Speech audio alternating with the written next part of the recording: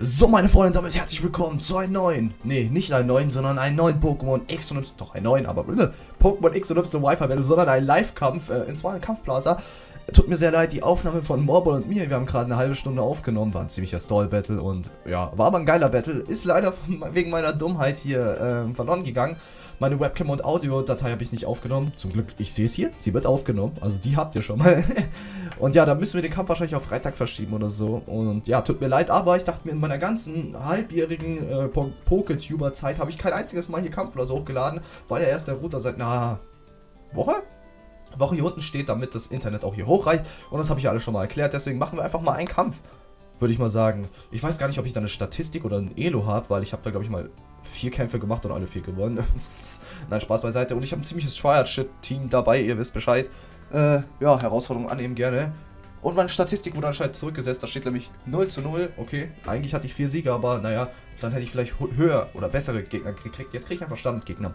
Und ich habe dabei ein Fiaro, Tendantel, Turbots, Apokalypse, Diggersby und Glurak Y, ziemliches Triad-Shit-Team. Mir ist jetzt auf die Schnelle nichts eingefallen, weil sonst hätte ich auch den Kampf mit jemand anderem aufgenommen. Ich habe nicht mehr so viel Zeit und wir spielen gegen jemanden, der schon ein paar Mal verloren hat. Denn sie oder es, also, hat eine 1439er Rating und sie hat dabei ein Quajutsu. Quajutsu. Folipoba. Okay, Folipoba ist jetzt nicht gerade Tryhard. Äh, Folipoba. Ähm, das ist ein Ampferwurst, wahrscheinlich Mega. Phoenixis äh, Durenhugard, Hurengard von Jovi ähm, und Tyranitar. Okay, wir können uns nicht über Triad beschweren, denn wir haben selber sehr viel Triad dabei. Hm. Auf jeden Fall, ihr Fia mein Fiaro wird sie wahrscheinlich mit Phoenixis und Ampharos auskontern wollen. Also Diggers nehme ich auf jeden Fall mit. Als Lead eher unwahrscheinlich. Ich werde auch Turbots mitnehmen, um Diggers, ähm, um das Quajutsu auszukontern. Ne, nicht Turbots. Turbots ist ja langsamer. Wobei ein Dark Boost könntest du sogar. Ich, ich, ich nehme Turbots sogar als. Ne, ich nehme Glurak mit? Glurak, damit ich die Sonne rauskriege und damit den Surfer negiere. Also nicht negiere, aber ziemlich weit runterbringe. Diggersby gegen das Ampharos und allgemein ist es Diggersby. Ich denke da nie viel nach, Leute. Äh, sie hat keinen einzigen physischen Attack außer Folipoba. Das heißt, äh, Tentantel ist da eher nicht so gut aufgehoben. Ich überlege, ob ich Apokalyp oder Turbutz jetzt mitnehme. Turbutz ist halt ein schneller Sweeper. Aber gegen sein Durengard habe ich Ding. Gegen äh, das habe ich das. Denke, ich nehme Fiaro mit, ja. Ne, wobei, spez ja, speziellen Attacker habe ich jetzt einen. Ich nehme Fiaro mit, Leute. Wie schon gesagt, ich denke da nicht immer so viel nach. Ich bin da eher der, der schnell raushaut. Und bisher hat es ja, naja, vier Siege und nur Niederlagen. Er spricht ja eigentlich für sich. Klar, können auch nur Loop-Gegner gewesen sein. Aber, naja, ist bisher ganz gut gelaufen. Und schauen wir mal, was der Gegner hier so mitbringt. Ah, ist auch ein bisschen befreit, mal wieder alleine zu kommentieren. Aber es macht mir eigentlich auch sehr viel Spaß, äh, mit Mobile oder Joey oder irgendjemand anderen mit zu kommentieren. Ähm, sie hat äh, Tyranitar leadet sie auch und ich habe mit meinen, ich glaube, äh, Glurak. Jetzt schauen wir mal, wer eigentlich sein Wetter zuerst rausbringt. Ah, ich krieg's ja eh nur in der Mega-Entwicklung raus. Und jetzt ladet es gerade. Ans Anspannung? Ist das ein Noob? Kein Sandsturm. Äh. Da ich aber eine Steinattacke nicht wirklich. Oh, fuck, ich habe so große Ge äh, äh, Gesteinsschwäche, deswegen wechsle ich einfach mal einen Digger Speed. Schauen wir mal. Ich hoffe, wir haben jetzt keinen Noob gekriegt. Beziehungsweise ist es ja nicht so schlimm, weil dann kriegen wir einen Win. Aber trotzdem, ich würde gerne einen guten Competitive-Kampf hier starten. Und sie wechselt in... Okay, Steinhackel. Gut, dass ich gewechselt bin. Und ja, das kratzt... Crit. Ich dachte jetzt schon, WTF, was war das? Ich bin sogar schneller als ein Tyranitar, glaube ich. Hat sie ein fliegendes Pokémon dabei? Nein. Gut. Viel Spaß mit meinem Erdbeben. Ich bin schneller, so viel ich weiß. Yes. Das wird ein One-Shot, sofern sie nicht gesasht ist. Yes, yes, yes, yes, yes. Schau mal, das erste Pokémon down. Sehr gut. Wird das ein schöner Digger Speed Sweep? Wir wissen es noch nicht. Ja, hier der Live Orb. Schau, dass hier die Item Clauses in dem Kampfblatter. Ist gar nicht so dufte, ne? Und wir haben nur eine halbe Stunde Zeit statt einer ganzen Stunde. Aber naja, ist auch die Hälfte der Pokémon. Klingt logisch, ne? Sie wechselt rein ihr Greninja. Da ich das letzte Pokémon noch nicht kenne. Wobei, jetzt müsste ich was sicher reinschicken und das ist schwer bei einem Greninja. Glura kann ich nicht sicher rein. Ich muss Diggersby hier sterben lassen. Ich kann äh, keinen meiner Pokémon noch ein. Ihr wisst schon was, ein Surfer oder sowas abkriegen lassen. Deswegen gehe ich auf Quick Attack. Vielleicht geht sie auch kehrt, wenn Predicted über. Und es macht, ja, die Hälfte Schaden. Sehr nice. Und Eisstrahl, jawohl. Da hätte ich in meinem Pokémon wechseln können und dann auch Sturzflug. Aber Risiko ist Risiko und das möchte ich nicht eingehen. Und damit ist auch der Speeder. Aber es hat sehr gute Arbeit geliefert. Despota schön gewone-shottet. Und damit heißt es Glurak. Oder, ja, Glurak. Wollen wir Glurak und gehen auf einen Flammenwurf. Wobei, dann könnte sie mit Surfern überleben. Gehen wir auf einen Solarstrahl, der sicherer ist? Ich schätze mal, wir gehen auf einen Solarstrahl. Oder auf einen Luftschild. Das ist das sicherste, was wir machen können. Wir werden nicht outspeeden. Und Luftschild, sofern er natürlich trifft, äh, wird es rausnehmen. So, dann gehen wir in die Mega-Entwicklung. Ich schätze, ich schätze, das ist echt ein Noob. Bisher hat er jetzt nichts overpredicted oder sie. Ich sage mal eher aus Gewohnheit. Äh, wahrscheinlich wird sie auf ganz normal auf Server gehen. Ich würde auf Eisstrahl gehen, weil da hätte sie nur Freeze. Und Hydropumpe. Wow, sie trifft auch noch. Ja, Hydropumpe spiele ich. Ja, wow, sie trifft nicht. Aber die Wandlungskunst kommt trotzdem durch. Ja, da haben die Hex wieder zugeschlagen und das überlebt sie ebenfalls nicht. Schade aber auch, aber der hätte mir nicht, der hätte mich nicht gekillt. Ich habe die Türe draußen. Wenn es jetzt ein Specs quasi so gewesen wäre, hätte ich vielleicht gesagt, wow, hätte vielleicht reichen können. Und sie hat als letztes Pokémon ihr Phoenixes. Okay. Hat wahrscheinlich einen Donnerblitz drauf. Deswegen, ja, ist mir das egal. Gehe ich auf einen Luftschnitt. Vielleicht kriege ich ja den Flinch. Und schauen wir mal. Sie ist schneller, okay. Aber Phoenix hat auch eine 115er Base und das könnte sogar reichen. Ja gut, reichen nicht, aber wenn es die Specs ist, so. Jedes Pokémon hat irgendwie Specs, vermute ich. Und das macht ja den Überdamage. Und sie ist left, die ist gut. Der Kampf ist GG, weil ein Fiaro nimmt sie dann raus. GG, Leute. Ersten Kampf gewonnen. Ging relativ easy. Äh, ja, aber wir haben jetzt auch nicht hier die High-Ranked-Gegner ever. Bitte kein Disconnect, weil sich schon wieder so lange überlegt. Komm schon, verlieren ist nicht Schlimmes. Oh gut.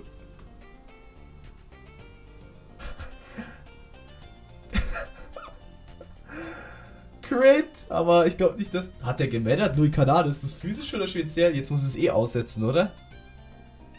Louis Canade, mein... LOL, das gibt's ja auch noch. Aquaubitz und Fauna-Statue. Da wird's halt nur ein 2 zu 0.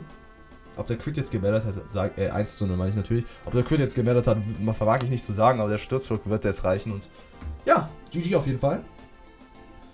Louis Canade, habe ich auch noch nicht, ewig nicht gesehen. Vor allem nicht in Competitive, noch nie in Competitive gesehen. Naja, wie schon gesagt, wir sind hier ganz am Anfang der Leiter. ja, schön, dass wir jetzt anfangen. Hätten ein paar schöne Folgen werden können, wenn wir das davor schon gemacht hätten. Und damit haben wir Erika. Okay, sie ist als weibliche Person. So, jetzt wissen wir es. Ich würde sagen, zweiter bis dritter geht noch. Kommt auf die Zeit an. Ich will ungefähr eine 20 Minuten einplanen, damit das Rennen auch jetzt nicht Jahre dauert. Wie schon gesagt, ich mache das ja auch eigentlich aus nur aus Zeitgründen. Aber naja, einmal geht dazu so, Kampf speichern. Nee, den habe ich ja gerade aufgenommen. So, gelöscht. Yes. Es kann eine Weile warten. Ja, ja, ja. Und möchte ich weiterkämpfen? Natürlich möchte ich weiterkämpfen. So, es wird automatisch gesucht. Ich dachte, ich müsste noch irgendwas zur Bestätigung eintippen, aber das muss ich nicht. Und ich rede dann ziemlich schnell. David Time. Hehe, du Hurensohn. Nein, Spaß. Du trittst in dieser Auswahl den Kampf an. Jawohl, Herausforderung annehmen. Und damit haben wir schon den ersten Sieg und ja, wow, wir sind positiv. Mein Leben hat sich verändert. Schauen wir mal, wer es für einen Gegner wir jetzt kriegen. Oh, jetzt könnte ich mal hier eine solche neue Seite anfangen. Beziehungsweise Blatt umdrehen, um Papier zu sparen. Immer schön dran denken, Kinder. Und gibt es irgendein Thema, über das ich reden will? Äh, heute ist Donnerstag. Also bei euch ist jetzt Donnerstag, bei mir ist jetzt Mittwoch und ich nehme jetzt auf und wir spielen gegen Hello. Gegen Ash. Okay, er hat nur ziemlich, ja, auch schon mal verloren. Und er hat ein, ja, Tryhard-Team. Ja gut, wir haben auch ein Tryhard-Team, wieso leicht? Das ist immer so. Ähm, ja, ich, ich, ich sag's gleich. Ich, ich hab's nicht vergessen, Leute. Beulen. Äh, jetzt wollte ich, jetzt ich statt Tentantel Beunhelm aufschreiben, weil das bei mir schon Standard mit Beunhelm ist. Tentantel. Nidoking. Also das Team sieht schon mal nicht schlecht aus. Ziemlich vielseitig. Sherox, aber Full Offensive. Neuvern. Ziemlich schnelles, gutes Pokémon. Panferno.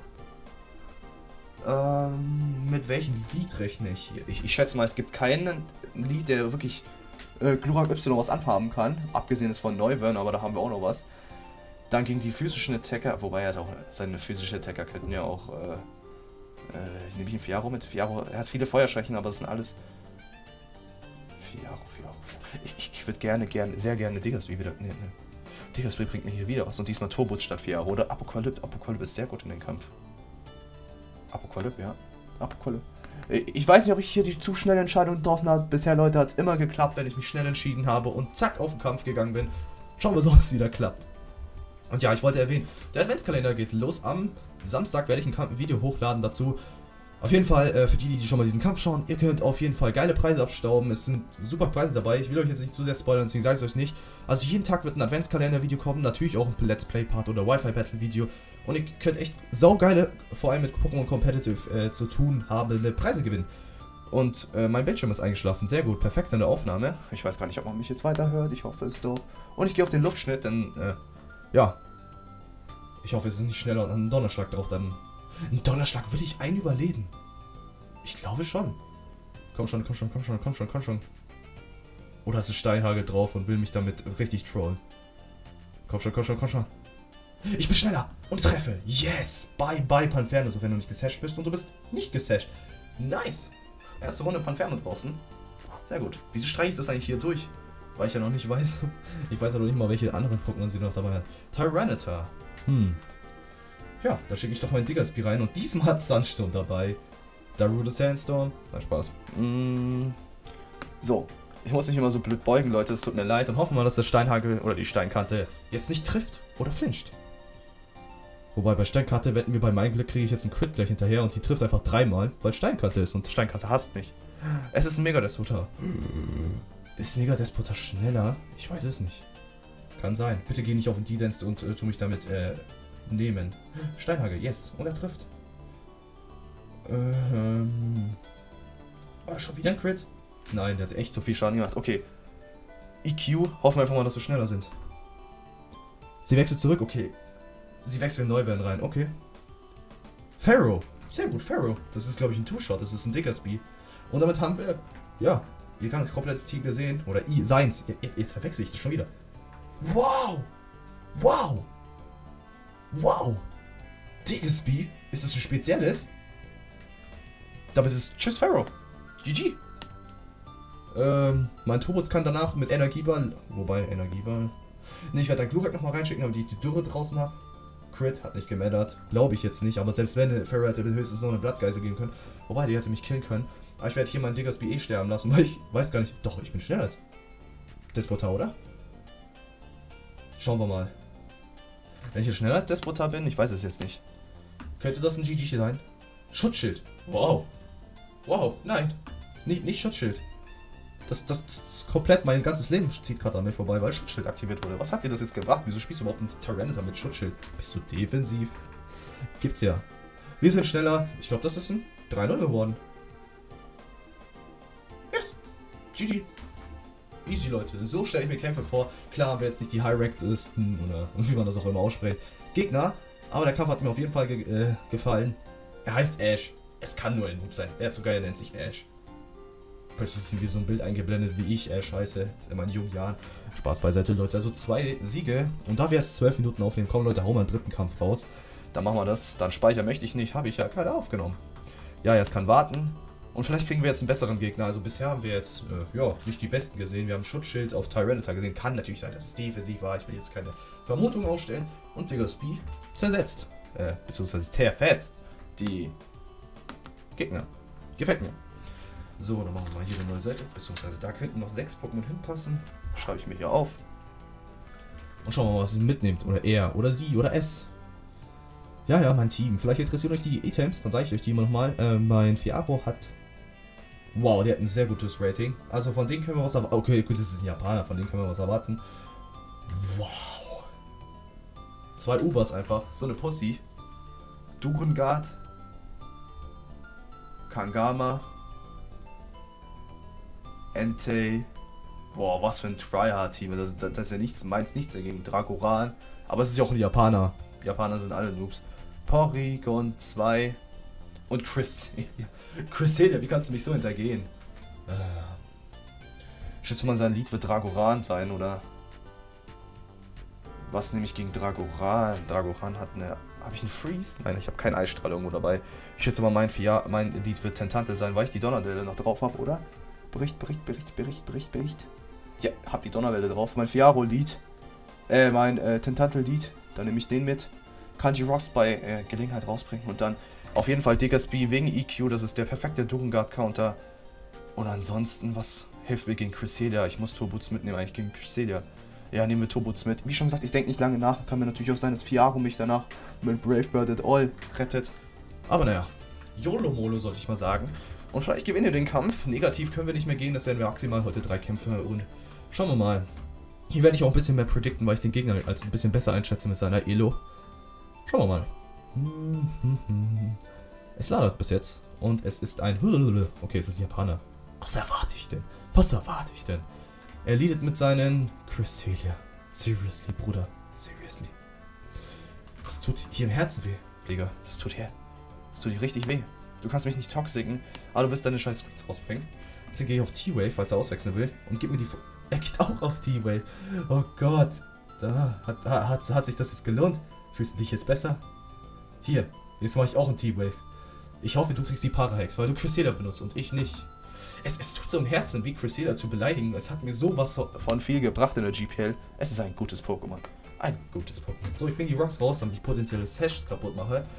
Und die Multishoppe von Dragoran, auch wichtig. Schauen wir mal, was er macht. Hoffentlich ist er kein Screener. Das will mir nicht so sehr zusagen. da denkt er nach. Die japsen wieder. Da tun sie so, als ob sie nachdenken in Wirklichkeit. Nintendo. Hat Spaß. Ähm ja, Adventskalender habe ich erwähnt. Ich habe zwei Skype-Nachrichten, aber scheiß drauf. Und er geht auf sein... Enter, er hat's mitgenommen. Bitte kriege ich nicht die Fullpaare. Und meine Kamera ist gleich leer. Scheiße aber auch. Scheiße aber auch. So, Tarnstein, ich krieg sie durch. Sehr gut. Mann, muss die Kamera jetzt leer gehen. Ich hoffe, ich krieg den Kampf noch schnell fertig, weil sonst seht ihr äh, den Rest nicht. Aber ihr hört mal mein, nach mein kommentiertes Zeug. Es ladet. Okay, es ladet so da. Äh, ich bleib drin und mach die Donnerwelle. Ich, ich denke, vielleicht prediktet er irgendwas und geht auf einen Schwertanz. Oder kann das Ding überhaupt Schwertanz? Ich weiß es nicht. Wahrscheinlich prediktet er irgendwas. Ne, er geht auf Läuterfeuer. Das wird auch reichen. Wahrscheinlich ist die stärkste Feuer, also physisch, also eine der besten physischen Attacken im Spiel, ja. Und dann ist Tentakel auch schon down. Ja, juckt mich nicht. Und damit schicke ich meinen Diggersby rein. Oh, das wird echt schwer gegen Entei. Ich hätte vielleicht auch äh, zweimal auf die Para gehen sollen, damit hätte ich ihn rausgescared. Aber wenn er die Screens rausgebracht hätte, wäre das blöd gewesen. Ihr versteht bestimmt, was ich meine. Und deswegen gehe ich hier auf mein... Äh, traue ich mich mein Erdbeben? Ich, ich gehe auf Rückkehr, weil ich mich nicht traue, aufs Erdbeben zu gehen. Weil er vielleicht auf Dragoran wechseln könnte. Oh, er bleibt drin und ich bin tatsächlich schneller. Vielleicht kriege ich ja irgendeinen Crit oder es reicht. Nein, es reicht nicht. Okay, scheiße, aber auch. Leute, Feuer trifft auch. Und wahrscheinlich kriegt er den Burn. Bei Minecraft kriegt er den Burn. 4 KP. Halleluja. Aber er macht jetzt... Kann das Ding Turbo-Tempo? Kann das Ding Turbo-Tempo? Ich weiß es nicht. Ja. Das ist GG, Leute. Das ist GG. Daher habe ich falsch predicted. Crit hat natürlich... Na, der hat nicht gemeddert. Kein, kein, keine Sorge, der hat nicht gemeddert. Äh, ja. Sofern mein Turbo jetzt nicht alles kaputt macht und es ist auch noch Live-Orb, haben wir ein Problem. Ich habe jetzt nicht super scheiße gespielt, aber... Ja, was hätte ich denn machen sollen? Entei war echt eine Bedrohung, die ich falsch eingeschätzt habe. So, auf welche Attacke gehe ich? Ich gehe auf Machen und Spuckball, falls er in seinen Crusader wechseln will. Und hat er irgendeinen Konter dabei? Ich gehe auf Spuckball. Falls er 3-0 rausholen will. Ne, geht auf Turbo-Tempo. Und er ist ja nicht gechoice banned, wie wir gesehen haben. Und das macht, wow, das macht so viel Schaden. Also Entei ist echt ein Powerhouse. Habe ich unterschätzt. Aber wenigstens habe ich das Entei, das ich getötet habe, ausgenommen. Und ja, die Kamera bling, bling, bling. Also mir wird angezeigt, dass sie keinen Akku mehr hat, aber schauen wir mal, wie das bleibt. Und er wechselt rein in sein Dragoran. Damit habe ich schon mal die Multischuppe down und der Zauberschein wird aber, glaube ich, nicht reichen. Außer ich habe jetzt einen Crit oder irgendwas, Zauberschein. Und er geht auf Turbo-Tempo vielleicht auch. Also schneller bin ich auf jeden Fall. Wenn ich jetzt super Lack habe. Er geht auf Turbo-Tempo, okay. Das könnte vielleicht, könnten wir vielleicht überleben. Ach, Crit, na komm schon. Einen hätten wir überlebt, dann hätten wir vielleicht einen Crit bekommen. So ist das Leben, Leute. Ich will nicht wissen, ich will nicht sagen, was passiert wäre, wenn wir eventuell jetzt den Crit nicht bekommen hätten. Dann hätten wir eventuell noch gewinnen können, Crusader so rumschieben, aber so ist das Leben, ist mir scheißegal, Leute. Zwei Kämpfe gewonnen, ein verloren. Crit, ob der jetzt gemerkt hat. Ich denke, den Turbo-Tab hätten wir eventuell überlebt, denn ich war ein auf HP, glaube ich, ausgelegtes Turbo. Hört sich blöd an, ist aber so. Und dann hätte ich, äh, Zauberschein hätte vielleicht gereicht. Könnten wir mal nachkalken, damit wir alle Fehler hier beseitigen. Wir haben ja die Zeit, Leute. So, Arzef ist schon ausgewählt gegen Dragonite. Dragonite, Dragonite, Dragonite. Und ein Zauberschall, wie heißt es auf Englisch? Dazzling Gleam. Seht ihr, ich kann das noch auswendig. Okay, mit Multiscale hätte er 5 Ja, der hat nicht gereicht. Nicht mal mit 90 Scale weg. Okay, doch, Leute, hat nicht gemeldet. Also, Leute, ich bedanke mich für euer Zuschauen. Es hat mir gefallen, auch mal das hier zu machen. 2 zu 1 gegangen gegen zwei Ubers. Zwei Ubers. Ich will nicht sagen, Ubers, Ubers, Ubers. Nein, Spaß beiseite. Ja, so ist das Leben, Leute. Danke für euer Zuschauen. Freut euch auf den morgigen Kampf. Der letzte Tag der Wi-Fi Battle Woche. Danach am Samstag kommt ähm, das Adventskalender-Video und am Sonntag dann die GPL-Hinrundenanalyse. Ciao, Leute.